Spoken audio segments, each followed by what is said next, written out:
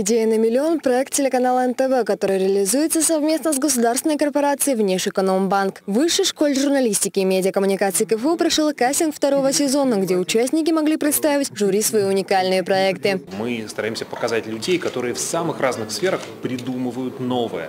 И мы стараемся показать всем, что на своей идее реально заработать, реально сделать успешный проект. По словам организаторов, во втором сезоне расширили географию кастингов. 11 городов от Калининграда до Владивостока. Кастинги уже прошли в Новосибирске, Сочи, Санкт-Петербурге и Самаре. Согласно новым правилам шоу, каждый участник во втором сезоне получит по 100 секунд на представление своего проекта. В 2016 году мы запустили производство вот такого материала. Это материал, который позволяет делать неубиваемые игрушки.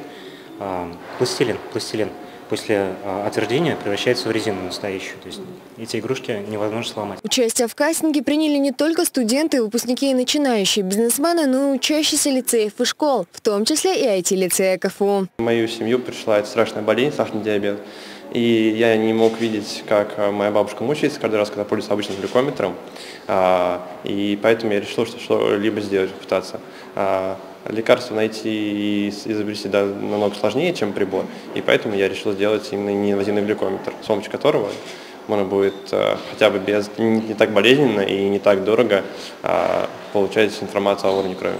Те, кто успешно проявит себя на кастинге, будут приглашен на съемки шоу в Москву. В ходе испытания претенденты смогут побороться за денежный приз, поддержку инвесторов, а также рассказать о своем изобретении на всю страну. Диана Шилова, Леонард Влетьяров, UniverNews.